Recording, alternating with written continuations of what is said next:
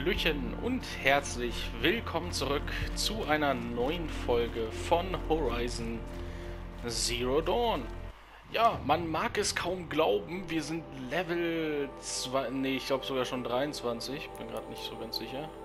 23, ja. Und wir dümpeln halt, oder wir waren immer noch nicht im Grenzvor, also wir haben noch sehr, sehr viel vor uns. Und ich bin sehr gespannt. In dieser Folge werden wir wohl, wenn nichts weiteres dazwischen kommt, das Kaja-Dorf oder ja, zumindest dieser Grenzpost oder so erreichen.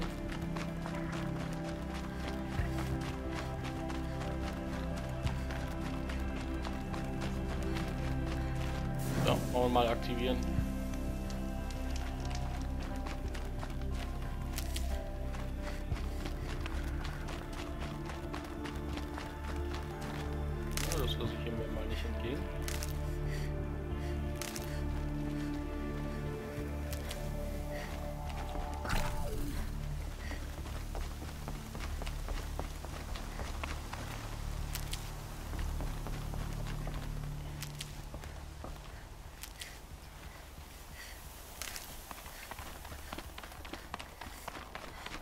Kampfgeräusche. Wurde das Kaja vor angegriffen? Ein Verderber.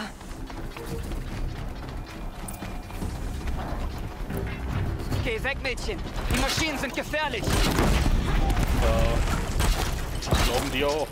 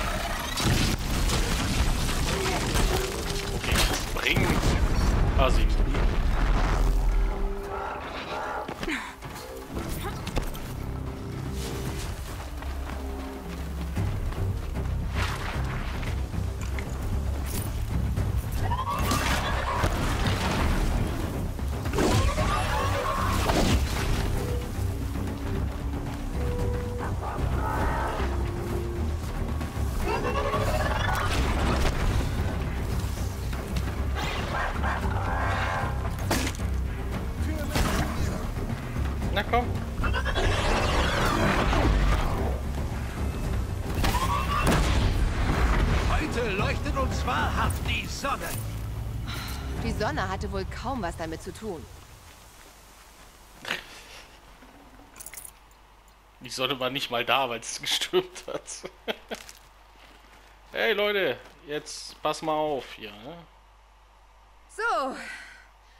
Öffnet ihr jetzt das Tor für mich? Dann mal los. Öffnet das Tor und informiert Hauptmann Balan. Wo willst du hin, Mädchen? Nach Westen. Nach Meridian. Öffnet das Tor. Ja, Der Weg der zerbrochenen Felsen ist mühsam, selbst zu den besten Zeiten. Sprich am besten mit Hauptmann Balan. Er kam aus Meridian vor kurzem erst. Er ist in der Festung, auf einem Balkon zur Linken in Richtung des Tals. Okay, danke. Wir sollten eigentlich dir danken für das Erledigen dieser Maschinen. Geh im Licht, Nora. Ja, im Licht kann man auch am besten sehen.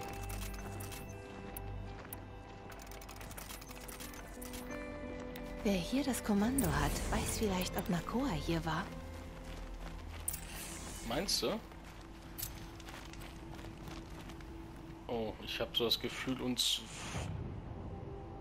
Trophäe halten, die verderb... Bäh, keine Ahnung. Ja, Nakua, Nakua, Nakua. Oh ja, die Rache einer Tochter. Finde Hauptmann des Außenposten und noch eine neue Quest, also... Das tun sie immer. Barbaren sind widerstandsfähig. Nichts als Ärger. Mehr gibt es nicht im Hey, und du? Du sprachst von Schwierigkeiten in den Banuk-Ländern. War ich so laut? Meine Ohren leiden wohl langsam durch all die Langbeinkämpfe. Aber es ist wahr. Ich war gerade im Schnitt. Auf der Suche nach besseren Teilen und mehr Scherben. Und du hast dort nichts gekriegt. Nicht, wenn die Banuk ständig über neue Maschinen und sprechende Geister jammern. Da kauft keiner was. Eine Handelsroute ohne Handel ist nur eine Route. Es gibt neue Maschinen und Geister?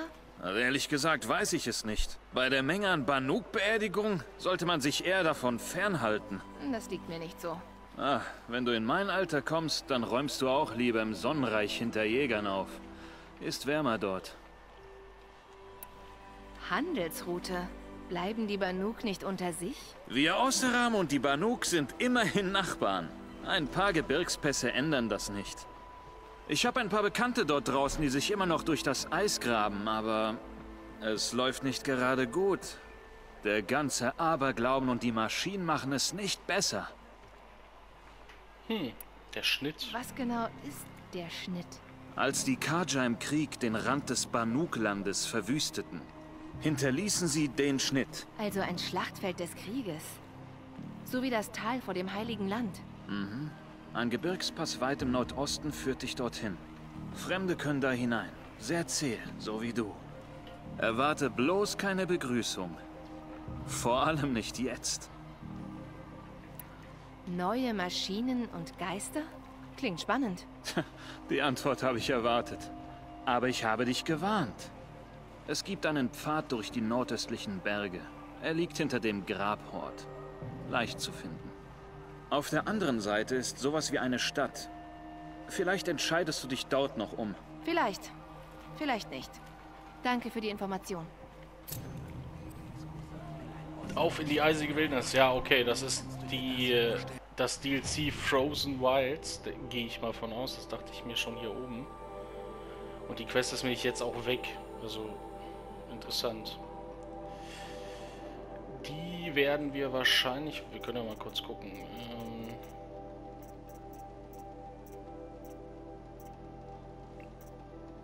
ja, Level 30. Da müssen wir auf jeden Fall ein bisschen Frag mich lieber nicht, wo du hin sollst, wenn du dich verirrst. Ich bin Wache, kein Stadtschreiber.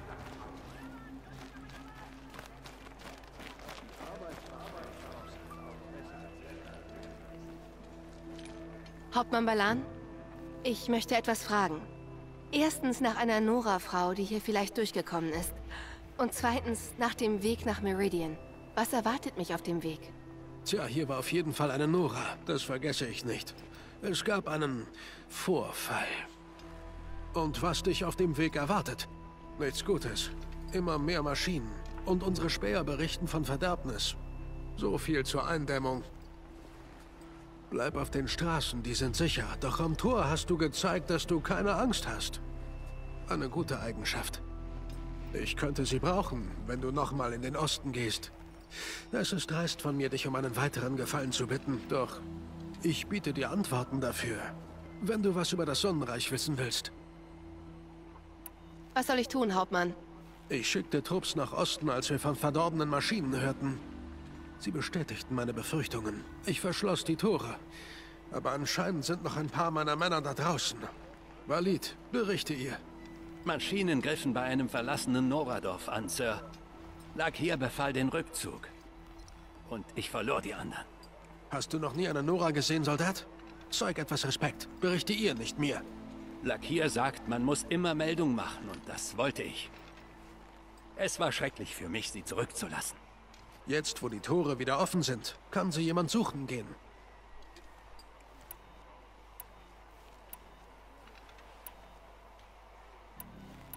Was ist das hier genau? Der Tagturm markiert die Ostgrenze des Kaja-Gebiets. Eine Handels- und Durchgangsstation, die einen sehr schlechten Ruf bei deinem Volk hat. In der Zeit des letzten Sonnenkönigs wurden viele Nora entführt, hier für den Transport nach Meridian versammelt und geopfert. Doch das ist lang vorbei. Ich soll für Sonnenkönig Awad sicherstellen, dass hier alle Kaja den Nora mit Respekt begegnen. Und wie stehen die Dinge jetzt zwischen euch und den Nora? Sonnenkönig Awad will Frieden. Die Stammmütter auch, hörte ich. Doch alte Wunden heilen schlecht. Beide Stämme sind stolz. Ich sorge dafür, dass es zu keinen weiteren Provokationen kommt. Besonders jetzt nach... Tja. Während dein Volk sich vom schrecklichen Angriff erholt, meine ich. Wie ist es in Meridian? Es hat sich verändert. Die Stadt lebt. Nichts ist mehr so wie unter Sonnenkönig Jiran. Avad, der neue König, hat dafür getan, was er konnte. Sklaverei wurde abgeschafft. Es gibt ein neues Bündnis mit den Osseram. Und der Sonnenring, wo so viele Fremde starben, ist jetzt ein Denkmal für die Opfer. Die Kaja sind mit den Osseram verbündet? Kaum zu glauben, aber wahr. Sonnenkönig Jiran brachte viel Leid über sie. Avad konnte sie auf seine Seite ziehen. Er hatte Hilfe, ja klar. Elsa und Erend halfen ihm. Osseram-Geschwister. Legendär. Sie befreiten Meridian. Ich war dabei. Sicherte mit meinen Männern am Nordfels den Tempel der Sonne. Vertrieb Jirans Falken und Priester. Jetzt sieht man Osseram häufig in der Stadt. Und hört sie auch. Sie streiten wirklich viel. Du scheinst den neuen Sonnenkönig zu begrüßen. Er ist der Auserwählte der Sonne. Und was das Sonnenreich nach zehn Jahren Krieg braucht. Ein ruhiges Licht, kein loderndes. Bei König Jiran floss bei jeder Kränkung Blut. Bei König Avad nur im Notfall. Gut für die, die ihn kränken. Manche halten ihn daher für schwach. Nein, Frieden ist stärker, wie die Sonne zeigt. Ich werde versuchen, deine Männer zu finden. Ich wäre dankbar, aber nicht so dankbar wie Valid. Hörst du, Trottel? Du bist vom Haken.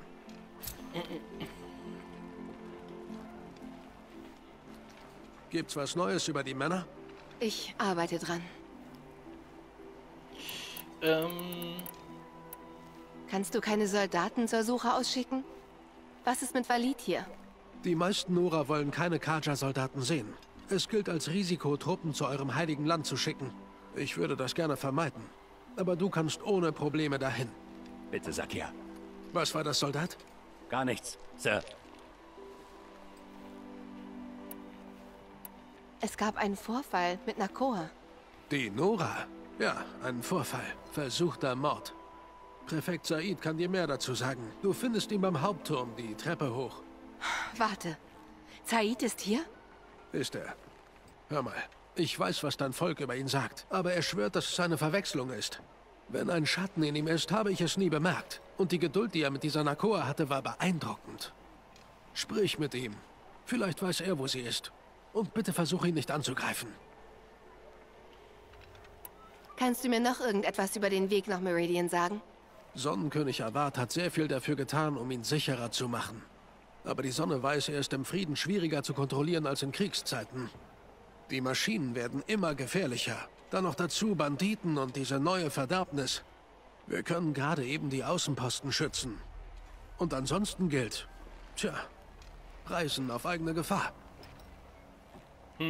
Ist ein Osseram namens Olin hier gewesen? Zweimal. Als Teil der königlichen Delegation zu den Nora. Sie kamen auf dem Hin- und Rückweg hier durch.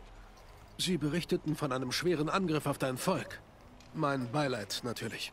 Weißt du, wo Olin jetzt sein könnte? Nicht genau. Aber er war auf dem Weg nach Meridian, da bin ich sicher. Alle gehen nach Meridian. Ich muss gehen. Gib Bescheid, wenn du was von den Vermissten hörst. da werde ich mich äh, sehr schnell drum kümmern, keine Sorge. Könnten wir überhaupt mal gucken, wo das gewesen sein soll.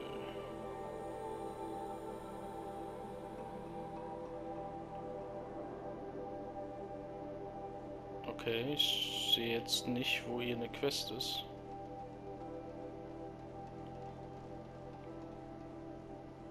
Für die Loge statt der Sonne.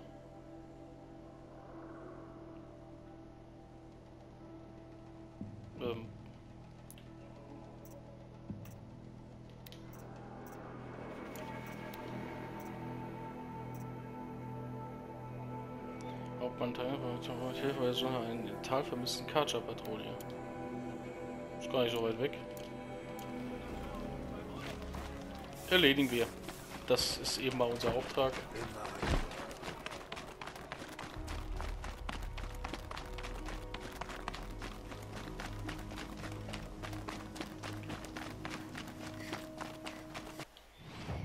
So, wir haben auch wieder zwei Fähigkeiten, aber wir brauchen drei.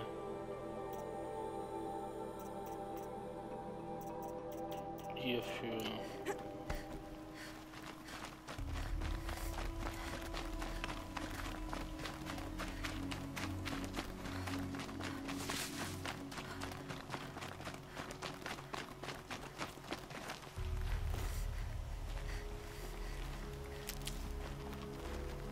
Man kann nie wissen, wann man das mal braucht.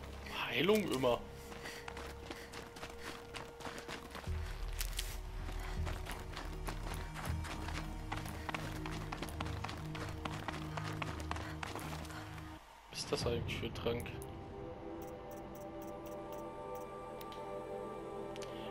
Stärkungstrank, Gesundheitsstärke. Aha,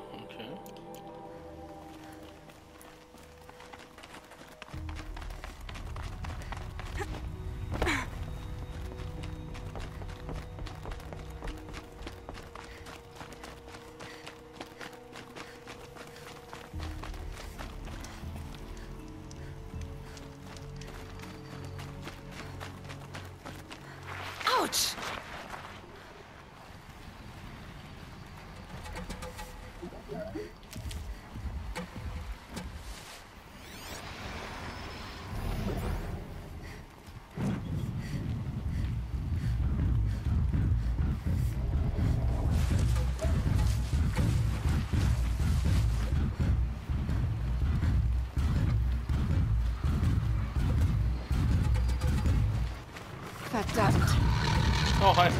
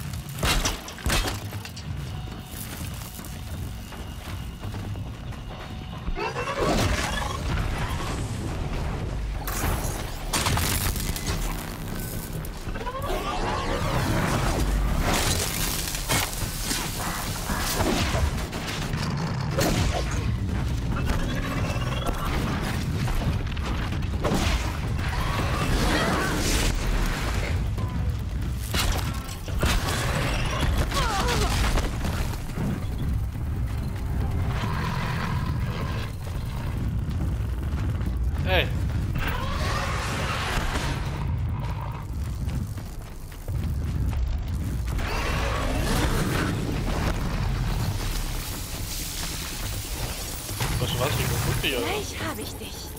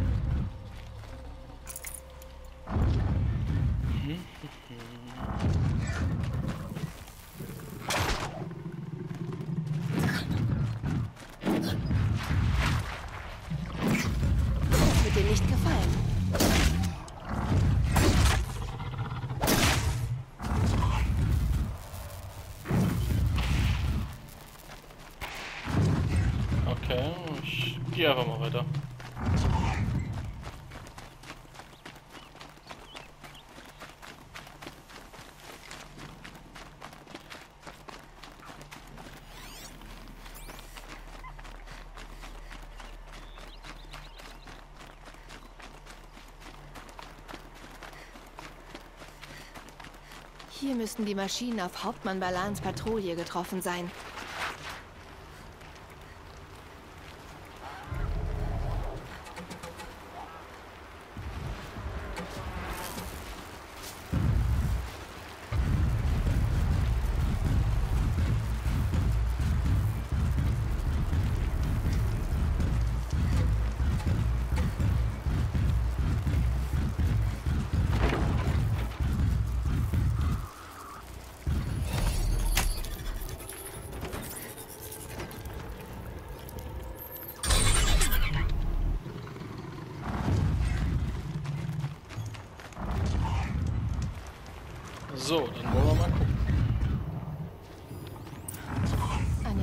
Fletcher ist dir gefallen? Untersuche die Leiche. Die anderen haben sich zurückgezogen. Aber wohin?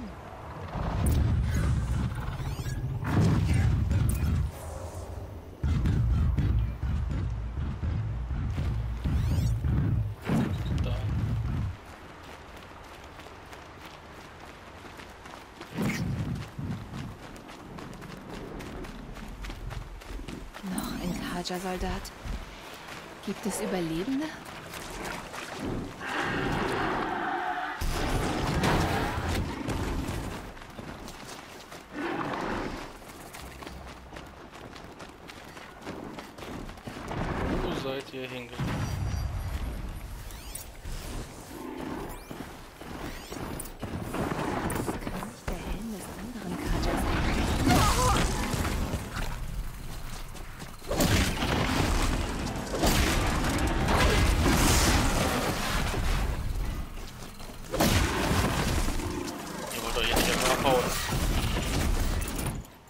Ihr hättet mich nicht verfolgen müssen.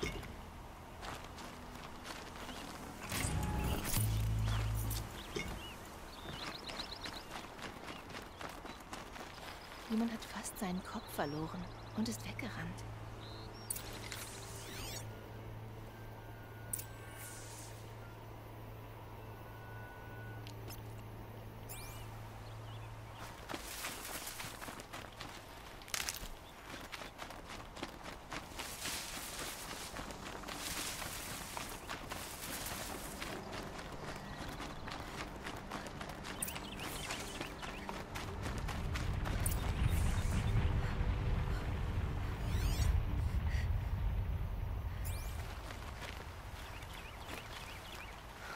Überall Blut.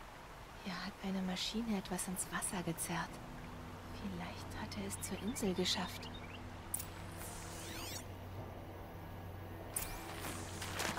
Findet lag hier auf der Insel. Woher weiß ich den Namen?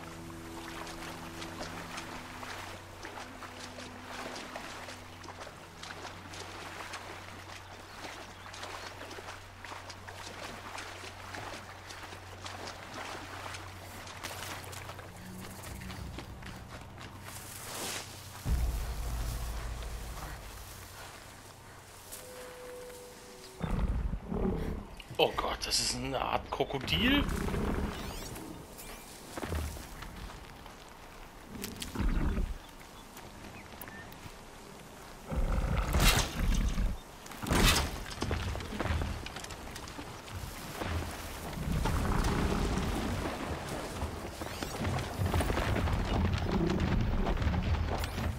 Oh Mann, und hiervon gibt es auch gleich noch ein paar mehr.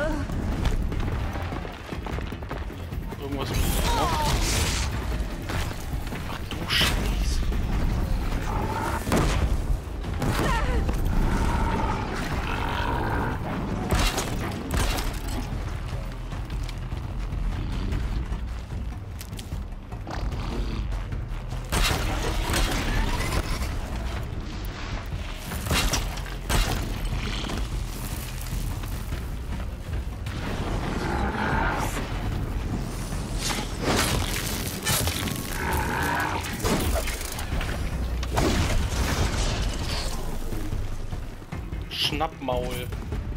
Schnie, schna, Schnappmaul, Schnappmaul, Schnappmaul, Schnapp.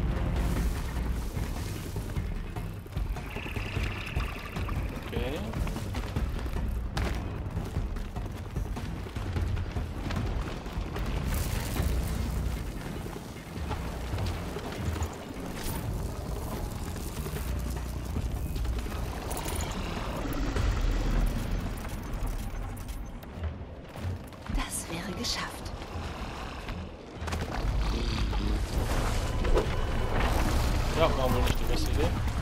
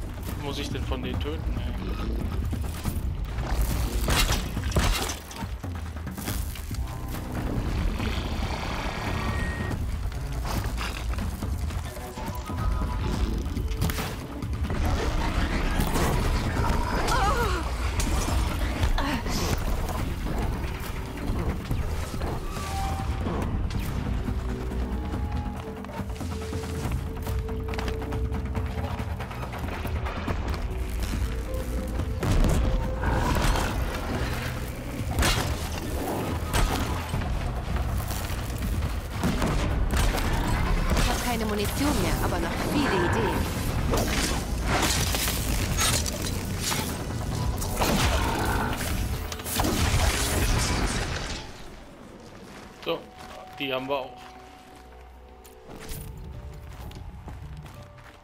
Schon krasse Gegner, muss ich sagen. Aber auch die haben wir sehr gut platt gemacht. Fallen regeln das halt einfach.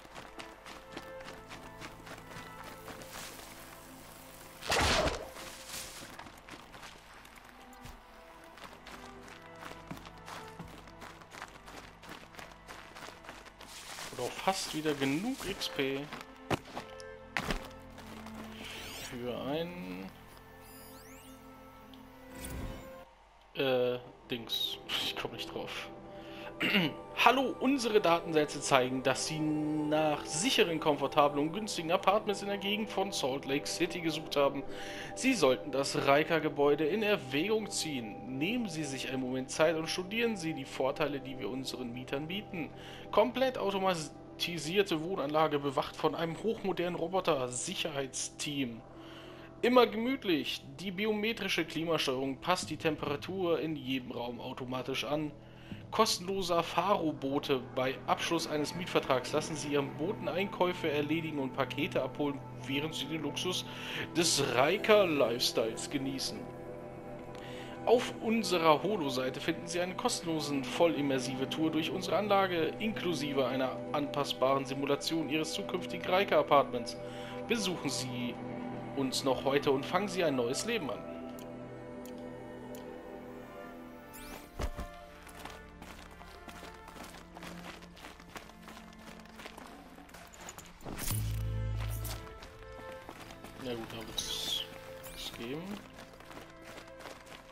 Müssen immer noch lackier, laschier, laschier.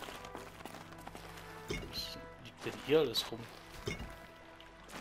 Hm, das brauche ich vielleicht noch. Dann nehme ich alles mit, würde ich sagen.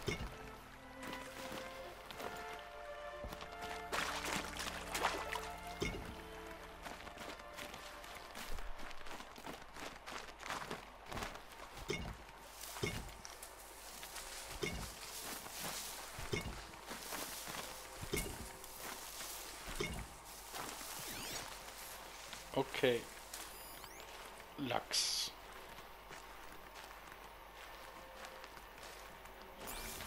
Was ich suche, sehe ich aber nicht. Überall Blut. Mal, da oben liegt einer. Bei der Sonne. Was ist bei das? der Sonne. Gesang? Erfülle mich mit Wonne. Ich gab dem Biest den Rest, doch dann verpasste ich das Fest. Ich langte ins Bierfass ohne Unterlass. Ich war nicht mal ganz blau und kriegte doch keine Frau. Bei der Sonne, bei der Sonne. Ich dachte nicht, dass man mich findet. Und schon gar nicht deine Nora. Und ich dachte nicht, einen halbnackten Kaja zu finden, der Trinklieder singt. Bitte entschuldige mein Verhalten. Ich dachte, ich wär tot. Dann komm. Dein Hauptmann will, dass ich dich zum Tagturm bringe. Ich weigere mich, von einer Nora geführt zu werden. Wie ein Gefangener. Gut. Dann geh doch allein. Warte. Ich hatte einen Kampf mit einem Schnappmaul. Er hat meine Rüstung und meine Bogen verschlungen. Der Dieb ist noch da, im Wasser. Das erklärt den Bogen bei seinem Kadaver. Du hast es besiegt? Allein? Stell dir vor. Willst du den Bogen oder nicht? Danke. Ich... äh, Ich wollte nicht in der Fremde sterben, wie meine Männer. Die Sonne sei mit ihnen.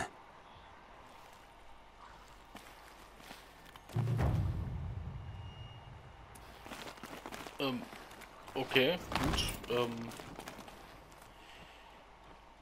ja, dann würde ich sagen, machen wir hier ein Folgenpäuschen und sehen uns dann hoffentlich in der nächsten Folge wieder. Bis dahin.